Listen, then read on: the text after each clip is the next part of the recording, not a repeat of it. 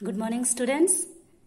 In previous class, you have studied kinds of nouns. You have studied kinds of nouns. And I have explained to you proper noun and common noun. First category proper noun, second common noun. And today you are going to learn abstract noun, third category, third kind.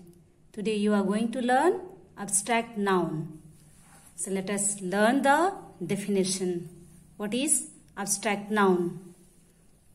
Abstract noun, a name given to a quality, action or state of mind.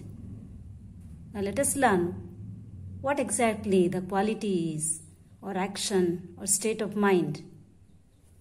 So all these quality, action, state of mind, all these have no physical existence.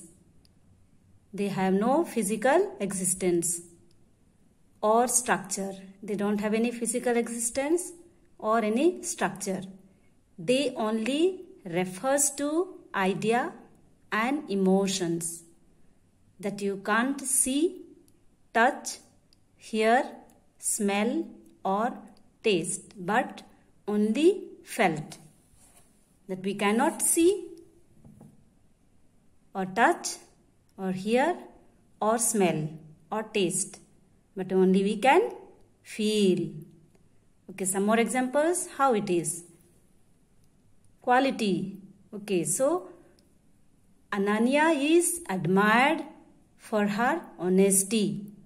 Now in this sentence, honesty, the word honesty is a quality of a person. What type of person? So Ananya is a Ananya is admired for her honesty.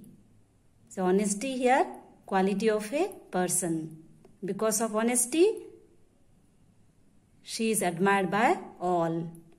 Now action. Uh, laughter, movement. These are the action. Example, she screamed with great joy. She screamed with great joy. For example, when there is a competition between two classes or the houses and your house win the match and you screamed with great joy. So that is the action. State of mind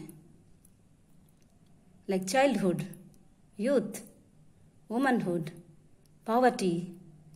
These are the state of mind. Here are the some more examples. A. They laughed at my idea. They laughed at my idea. See, so here is the idea. They laughed at my idea. What idea she or he gave? They laughed. B. Rohan had a fear that he would fall down. Now here it is a feeling. He had a fear that he would fall down. See, Somya tried to control her anger. Somya tried to control her anger, emotion. D. We gained independence in 1947. We cannot see independence. We only can experience, felt that we have gained independence. E. A child's happiness cannot be measured. Happiness, word happiness. Can you measure? No. So that is the feeling of a heart. Child's happiness cannot be measured. His anger destroyed him again. Anger action. So his anger destroyed him. Next, number G, The people appreciated his sincerity. People appreciated his sincerity. Sincerity, word sincerity. That also again a quality of a person. People appreciated his sincerity. So this all word. Idea, fear, anger, independence, happiness, again anger, sincerity. All these are examples of abstract noun. So children, here is a homework for you.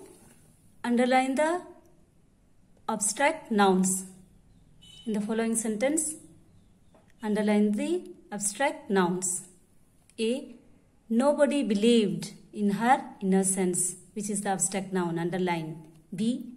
The old woman lived in poverty, which is the abstract noun, underline. C. The laughter of the children filled the room, which is the abstract noun, underline. D. The elephant has great strength. The elephant has great strength. Underline the abstract noun. E. Without health, there is no happiness. Without, without health, there is no happiness. Read the sentences, understand it and underline the abstract nouns. Okay, so for today enough. Thank you children. God bless you.